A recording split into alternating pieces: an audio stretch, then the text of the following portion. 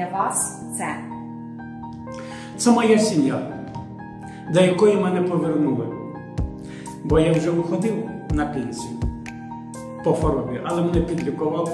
І тодішній ректор мене побачивши, сказав.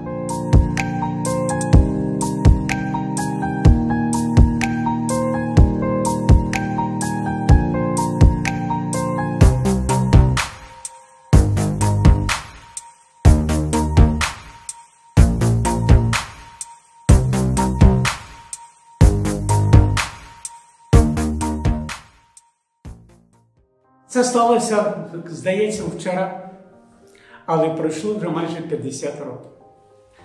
Як я з обласного управління внутрішніх справ Львівської області перейшов на роботу у Львівське пожежно-технічне училище, ну тоді МВС СССР. І з тих пір я собі не уявляю іншого моменту, де б я був, з ким би я був, як би я був, якби не наш навчальний заклад історія якого це є поєднання і моєї праці з історією нашого навчального закладу. Ким ви були спочатку? З чого ви почали? З якої посади? Коли я прийшов у наш навчальний заклад, то перша моя посада була заступник начальника дивізіону, першого дивізіону з політико-виховної роботи. Пізніше я став викладачем циклу соціально-економічних наук, згодом старшим викладачем циклу соціально-економічних наук нашого навчального закладу, ну тодішнього училища. З ким ви на той час працювали? Ну, починав я з начальником дивізіону покійним Якушкиним Володимиром Миколайовичем, який, вийшовши на пенсію, очолював ветеранську організацію нашого навчального закладу, якого згадують всі, хто з ним працював, хто з ним стикався з самої великої букви, тому що це була людина безподобна. Кожен е, керівник, е, в якого молодий офіцер проходить наставництво, чогось вчить. Зазвичай через ціле життя цю якусь таку святу істину він несе. Чого вас навчив ваш перший керівник? Перший керівник був для мене взірцем порядності, людяності, дисциплінованості. І мені приємно згадувати його. Тому що коли проходять зустрічі випускників, яких він навчав, якими він керував, вони всі їздять на могилу його, щоб вклонитися і згадати його добрим словом.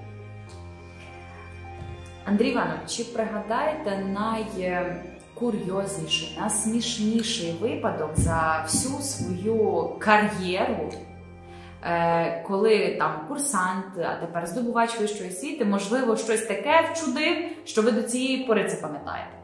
Пам'ятаю до сих пір вогнева підготовка, стрільба.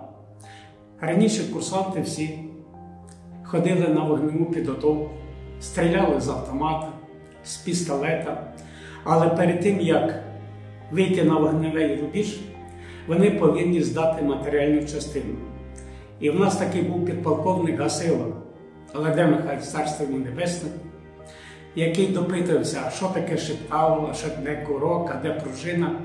Ну і не всі курсанти добре всі тонкості матеріальної частини знали. І от ніколи не забуду, значить, під вечір шум, крик, гвалт, нема одного пістолета. Отримали пістолет командир групи Макаров, пішли на вогневу підготовку.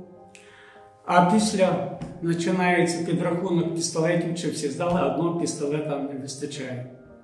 Як сталося? Де дівся? А на той час пропажа вогневої зброї, то безпосередня доповідь в Москву потрібна була. І ми підняли шум, який тільки можна було. Давай розбиратися з кожним курсантом, хто де був. Групу я вистроїв і давай кожного допитувати, діставати, ну, оскільки я ще й юрист, політпрацівник, то я групу практично зневажлив. Всі вони доповідали, та ні, то все було. Як було, де пістолет? І так було дві години. Я ту групу по 10 разів строїв, по 10 разів розмовляв персонально і колективно. І під кінець, йдучи на вечерю, мені прибігає один курсант. Теж капітан, теж капітан, пістолет знайшов. Де знайшовся? В столовій. Як в столовій? А чого він там опинився? Ну, безумовно, підозра була. Був такий у нас. Підозра була на нього, хай вибачає Староженко Володя. Всі казали, що це він. Ну, я не переконаний і не можу про це стверджувати, що це він. Але більш всього, тому що він не міг ніяк здати матеріальну частину. І вони вирішили підполковника е, Гасило, Гасило провчити, щоб він теж базар фільтрував, де що як вимагати і що як навчати. Але то було не, не до жартів, то було настільки серйозно, що ти собі навіть не уявляєш. Е, ви бачили не одне покоління курсантів. Училище, інститут, Інститут. університет. Університет. Е, чим, якщо є таке, відрізняються тодішні курсанти? І курсанти, наприклад, ті, які зараз ходять по тих аудиторіях, і в яких ви зараз маєте пари. Безумовно, різниця є, бо різні були умови, різні були традиції, різні були вимоги, різні були можливості. Якщо на той час упор Савдепії був на військову підготовку, традиції зберігання колективізму, що мені імпонувало, і я хотів би, щоб той колективізм, який панував тоді, взаємовиручка, взаємодопомога, взаємопідтримка були і на сьогодні, тому що на сьогодні інші психологічні можливості, інший морально-психологічний клімат, інші бажання, інші намагання, інші побажання. Тому, безумовно, велика різниця є між тими курсантами і нинішніми. Якщо тоді була вимога вижити, навчитися, домогтися, то сьогодні є більш можливості досягти того чи іншого рівня і навчанні, і вихованні, і в становленні, і в інтелекті. Андрію Івановичу, якщо одним словом або ж одним реченням, університет, наш університет для вас це. Це моя сім'я, до якої мене повернули. Бо я вже уходив на пенсію по хворобі, але мене підлікували. І тодішній ректор мене побачивши, сказав, що мене потрібно вернути назад в свою сім'ю. За той час я пропустив через голову, серце і душу не одного вихованця. На юбилейні підрахували, що їх пройшло десь 32 тисячі, серед яких державні діячі, вчені, керівники різних рівнів, серед яких і 23 генерали. Андрію Івановичу, кого ви пам'ятаєте по прізвищах, хто вас як вчителя перевершив у своїй кар'єрі, у своїй діяльності? Ну, я завжди говорив, говорю і буду говорити, що найвища нагорода для вчителя це коли учень його перевершує. Це значить, праця його не пропала. Значить, а раціональні зерна, які він посіяв, дав такі позитивні сходи, якими він може пишатися, так як само і може пишатися навчальний заклад своїми вихованцями. Серед яких би я хотів назвати це безумовно міністр Білорусі, бувший Баріїв Анвар Азаєвич, його заступник Степаненко Василь Петрович, це начальник пожежної безпеки України Уленес Ернест Михайлович, Щербаченко Олександр, нинішній начальник управління Житомирської області Нікічук Ігор Валерійович, нинішній начальник управління ДСНС Тернопільської області Маслей Вікторович, наші ректори Козар Михайло Миколаївич, Коваль Мирослав Стефанович і багато інших. Андрій Іванович, е, скажіть, будь ласка, які відчуття? Як це, коли ти присвячуєш всього себе одній справі, коли твої, наприклад, там діти так ростуть без тебе, тому що ти присвячуєш себе вихованню інших сотень, десятків сотень інших людей. Безумовно, це накладує великий відпечаток на твоєму житті, бо ти себе присвятив одній справі, яка дає можливість тобі вдосконалюватись, збагачуватись, насолоджуватися тим, що ти твориш, що ти робиш.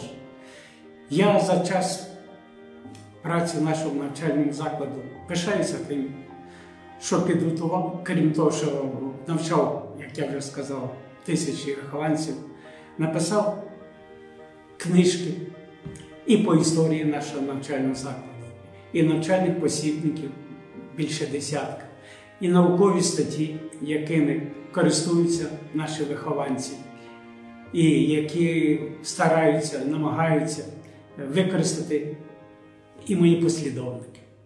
Андрій Іванович, е, кожен ветеран, е, з яким ми спілкувалися, має чим похизуватися перед нашими глядачами. Хтось брав участь у розбудові парче, нового крила аудиторій.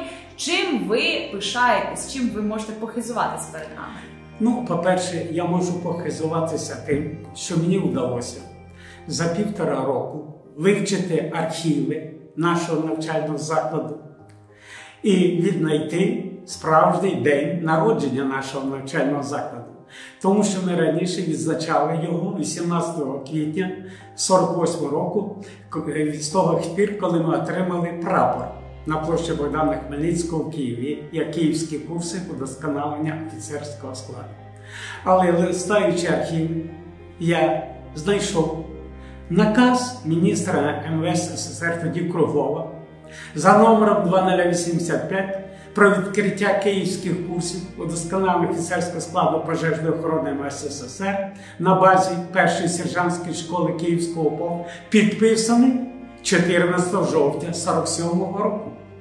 І тоді я вийшов на вчену раду і розповів: військової частини нема, коли нема прапора, не дай Бог, прапор втрачається. Частина розферборовується, а керівництво під трибунал попадає, а військовий часто розстріл. От, І мене вчена рада підтримала, і тому у нас сьогодні справжній день народження на покрові. Ну тоді міністр не знав, що це день покрови. Йому було без різниці. Підписаний 14 жовтня 47-го року. І наостанок, яким ви бачите Львівський державний університет безпеки життєдіяльності, скажімо, через 10 років? Я його бачу, який займає одне, якщо не перше, то одне з перших місць в рейтингу вищих навчальних закладів не тільки МВС України, а й серед навчальних закладів України.